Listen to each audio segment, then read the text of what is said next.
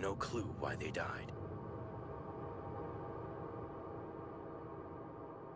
Then do we have an epidemic?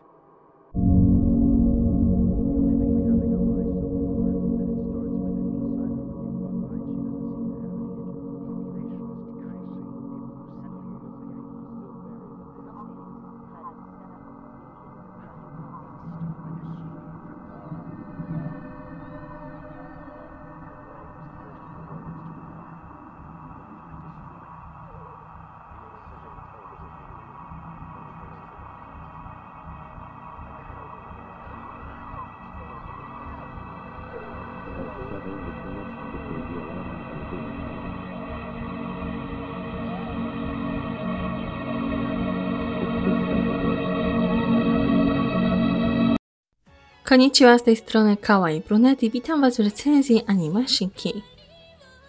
Shiki to 22-odcinkowe anime będące adaptacją 11-tomowej mangi autorstwa Ryu Fujisaki i Fuyumi Ono. Na polski rynek mangę wypuściło wydawnictwo Waneko. Historia toczy się w sennej miejscowości Sotoba, w której mieszkańcy głównie zajmują się uprawą roli oraz wyrabianiem trumien i nagrobków, gdyż wieś otoczona jest lasami i górami. W tej odciętej od świata mieścinie zaczyna dochodzić do niezwykłej serii zgonów, która zbiega się z czasem przybycia do Sotoby nowych mieszkańców. Pierwszą osobą, którą niepokoją dziwne wydarzenia jest Natsuno, licealista, który marzy, by wynieść się z wioski i zamieszkać z dala od niej. Takie samo marzenie dzieli Megumi, śliczna licealistka zakochana w Natsuno bez wzajemności, jednak plany Megumi legną w gruzach w dniu, w którym trafi do grobu.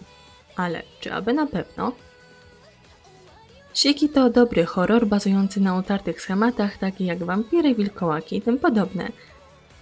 Mamy tutaj całą masę bohaterów i choć mogłoby się wydawać, że historia będzie się kręcić wokół Natsuno, to o dziwo z biegiem wydarzeń gra on coraz mniejszą rolę, a na główny plan wychodzi miejscowy doktor i młodszy mnich. Tytułowi zarzuca się nie tyle co inspirację, ale wręcz kopiowanie z miasteczka Salem Stephena Kinga i nie sposób się z tym nie zgodzić. Osobiście już na samym początku zauważyłam masę podobieństw w obu tytułach, jednak Shiki jest bogate we własnych bohaterów i akcje, które potrafią trzymać w napięciu i stworzyć niesamowity klimat.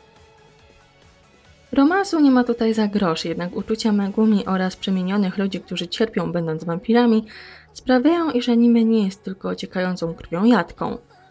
To, co podoba mi się najbardziej, to sposób, w jaki ukazano społeczeństwo Sotoby – Najpierw mieszkańcy są całkowicie nieświadomi czyhającego na nich niebezpieczeństwa, po czym powoli zaczynają rozumieć, co się wokół nich dzieje, aż w końcu, podburzeni przez doktora, ruszają na wampiry z odwetem.